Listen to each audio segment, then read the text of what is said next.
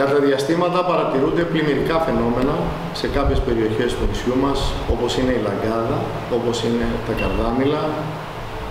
Στην Κόμη έχουμε ζήσει στο παρελθόν και σε άλλες περιοχές.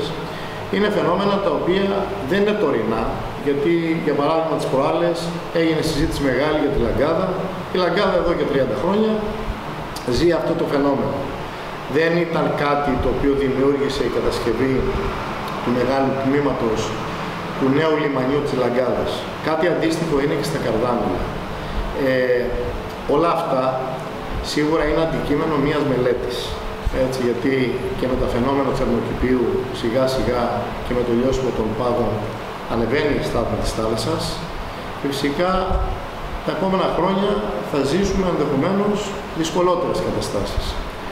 Αυτό το οποίο ε, πρέπει να γίνει, γιατί υπάρχουν πολλά πρέπει, πολλά πρέπει, έτσι, και από αυτά τα οποία έχουμε κληρονομήσει ως μια δημοτική αρχή, από τις προηγούμενες δημοτικές αρχές και πολλά χρόνια πριν, υπάρχουν λοιπόν πολλά πρέπει, τα οποία βήμα-βήμα και μέσα από το πρόγραμμα το δικό μας θα προσπαθήσουμε και να διορθώσουμε και να υλοποιήσουμε. Ε, θα δούμε λοιπόν ε, τι μπορεί να προκύψει μέσα από μία μελέτη η οποία να αντιμετωπίσει αυτού του είδους τα πλημμυρικά φαινόμενα από την άμποτη της θάλασσας.